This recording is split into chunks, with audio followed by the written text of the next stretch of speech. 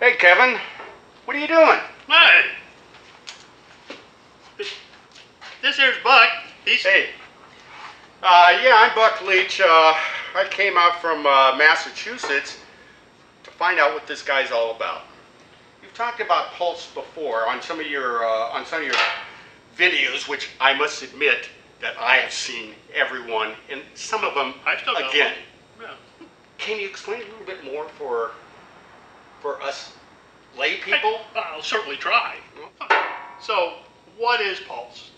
Pulse is where the machine will take the the uh, working amperage, you know, your welding amperage, and it will literally, uh, you know, you will you will click the finger control or you will step on the foot pedal, and you will literally get a spike from zero up to your welding amperage, weld, and then it will drop back down to whatever you set it to, or all the way to zero again.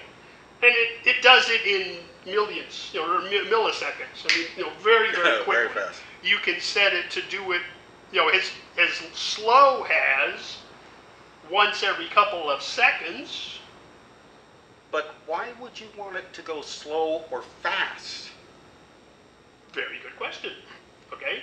It depends on the thickness of the metal, the type of metal. You know, uh, I've, I've used pulse when I'm like welding overhead to make the puddle freeze a little quicker. Wow. Okay. Okay. Okay. And- yeah, and- and- makes perfect And, sense. and, uh, a lot of it is experience, a lot of it is playing and learning. Yeah. You know, a lot of it is figuring out what the controls on the machine will do. That's a big one right there. Okay, but you know, like, like I said, you can you can get the machine to pulse, weld, drop down, give it a second to cool, Yeah. give it a certain Okay. amount of time Yeah. to cool off, pulse back up again, and do it some more. Okay, so what I was saying was, you can you know figure zero volts, and when your pulse spikes up to let's say 100 volts, Mhm. and then drops back down to a negative, and then back up to positive again.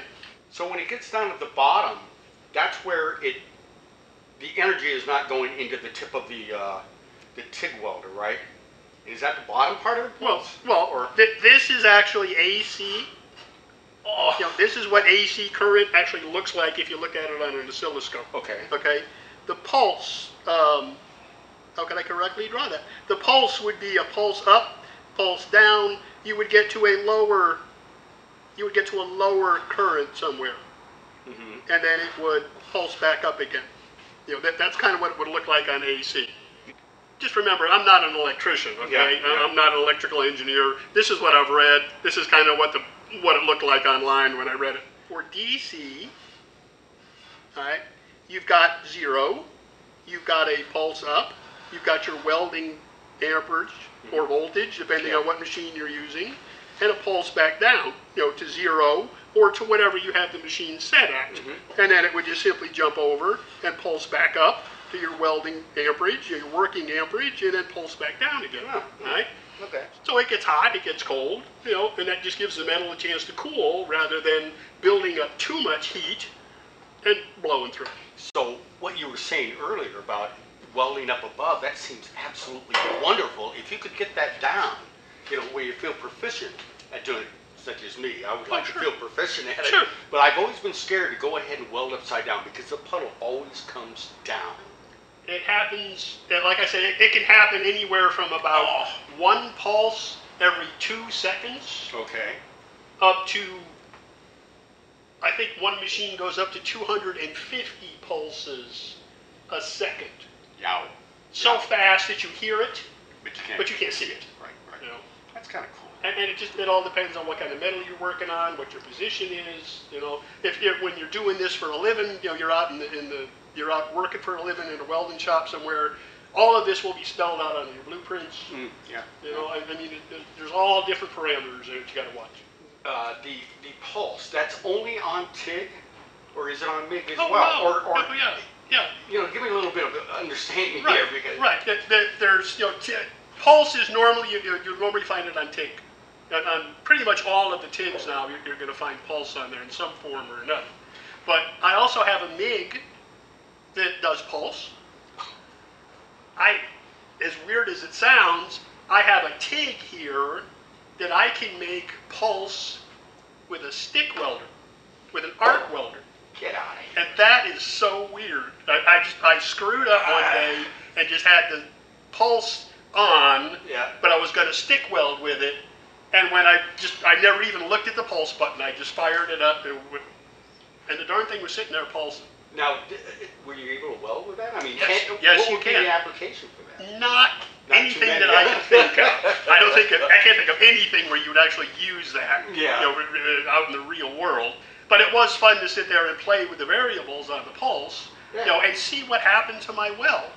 But stick welding has such a narrow, narrow parameter, you know, a working amperage for the Yeah. stick, you know, for, for the individual rod, that you can't have any big variation in it. Yeah, yeah. But come on over to the machine. Let me show you Yeah. a couple of different ways to set them up here. Thi- This is Everlast uh, Power TIG 255 EXT, according to the sticker.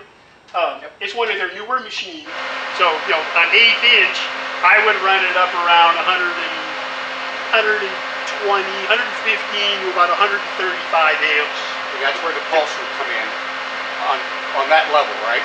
Well, Right, that then it would be a percentage of, you know, oh. if I had it set at 125 amps, it would be, at a, it would be, you know, like it set at 50% of that 125 amps. Yeah.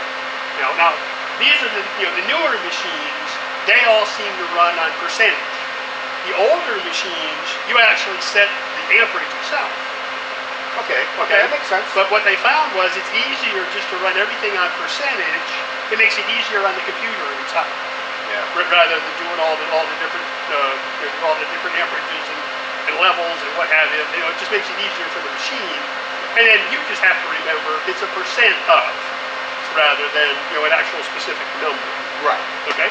Okay, sorry So- about that. Yeah. No. I just no. want to know. Yeah. Back to the machine. We've got you know the pulse frequency, which is how often Right. that the pulse is. The AC balance, that's simply because I've got set in AC at the moment. The steel, that doesn't work. You don't have to worry about that, Okay. okay? And then also AC frequency. You know, again, it's AC welding for like aluminum or magnesium or something like that. And those are other different, you know, variables that you can add into the machine. You know, that, that's with the, with the, uh, with the Everlast machine. Yeah. You know, one of the other functions that it has when you're working in AC, mm-hmm. you know, the, uh, uh, the advanced pulse, they call it. Yeah. They've done something kind of weird where now you've got, you're welding with AC on aluminum or Yeah. like magnesium, but in your pulse, you're getting a positive AC to weld, mm-hmm. and then you're getting a negative DC. They're switching back and forth between AC and DC while you're working. That's, that's pretty amazing. That's that's the inverter, that's the computers, that's all the chips inside there. But what they found is you can drop the amperage a lot with the advanced pulse because you're getting so much more power out of that DC spike.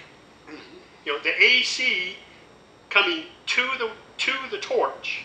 So like I showed you here, where that, that AC spike is going positive and negative, positive and negative Yeah. what you're getting with that AC, that positive AC spike, Yeah. right? You're getting the cleaning action, where it's, it's cleaning all of the oxide off of the aluminum, getting it ready to weld. But with that DC negative spike, now it's going back the other way. It's going into the metal. so you're putting all that power, all that amperage into the metal itself to get it hot, Right. so you can weld it. And then it goes back to AC again to clean some more.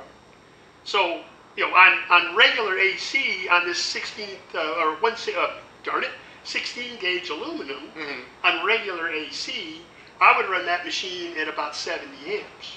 Okay. Okay? Okay. If I go to the advanced pulse, I turn it down as low as 35 to 40 amps.